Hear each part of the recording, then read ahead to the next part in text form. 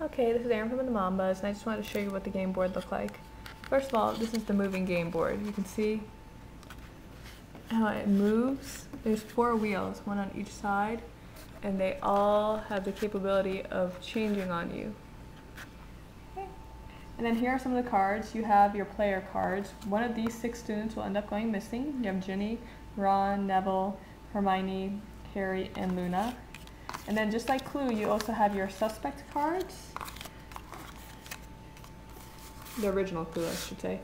Um, we have Dolores, Peter, Draco, Lucius, Crabbe and Goyle, and Bell Bellatrix. Bellatrix. Um, I like how it looks like it came from the newspaper, I guess the Daily Prophet, the photos. If only they would move, that'd be cool, like holographic. Um, these are the different rooms in the house. So these are where the murder, the murder or the disappearance could have taken place. And then these are the items which were probably used um, for the disappearance of one of these students.